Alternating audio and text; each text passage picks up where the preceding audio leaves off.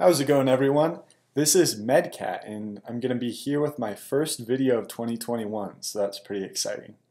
I recently just got a comment from someone asking me to cover specific gravity, which I am very happy to do because specific gravity is actually a fairly simple concept at the end of the day. So let's jump right into it. Ultimately, specific gravity is a measurement of density.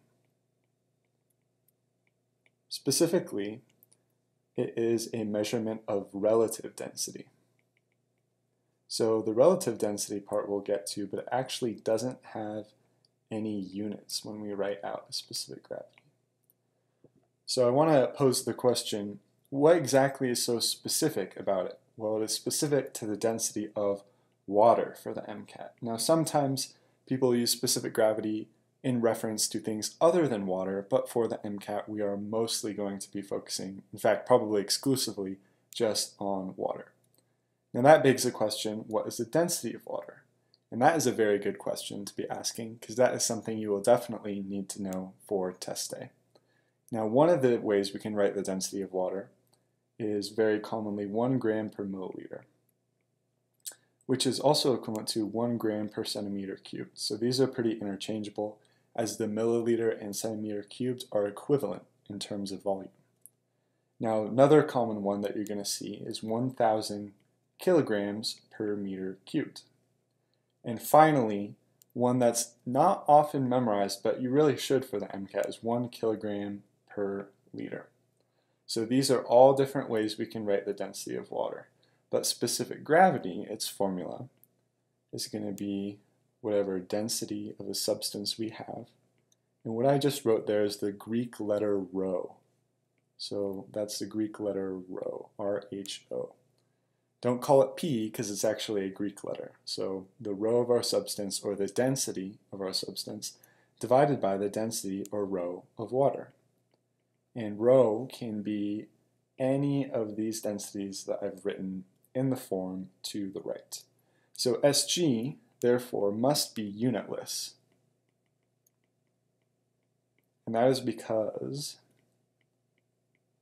the units will cancel out. So if we use, let's say for the density of water, grams per milliliter, we want to measure the density of our substance also in grams per milliliter. Now finally, if our SG is less than 1, that necessarily means our substance is less dense than water.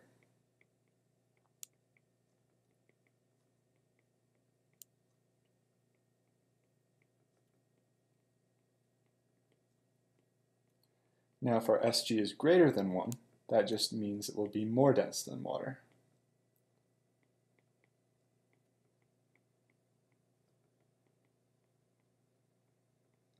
And finally, as you may have guessed, if our Sg is equivalent to, oops, not 0, equivalent to 1, it will be identical to that of water.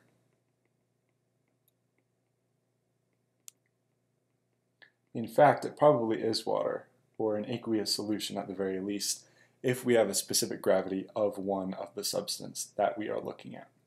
So that is specific gravity. In a nutshell, it is a measurement of relative density of something compared to the density of water.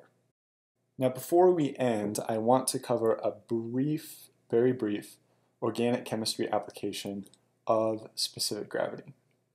And that's particularly going to be in extractions, where we're measuring, or not really measuring, but utilizing the density or differences in density or relative densities to separate out mixtures in a solution especially when we're trying to isolate our product from contaminants in organic chemistry lab. So you may remember doing this um, kind of extraction process by either shaking something up and waiting for it to settle, or shaking it up and waiting for it to settle and then using something called a separatory funnel to actually separate those layers out. But I want to pose a question to you looking at this beaker I've drawn here. We have an organic layer and an aqueous layer in kind of the solution that we've isolated in organic chemistry lab. What is the specific gravity of the organic layer going to be? Is it going to be Sg greater than 1? Sg equal to 1 or Sg less than 1.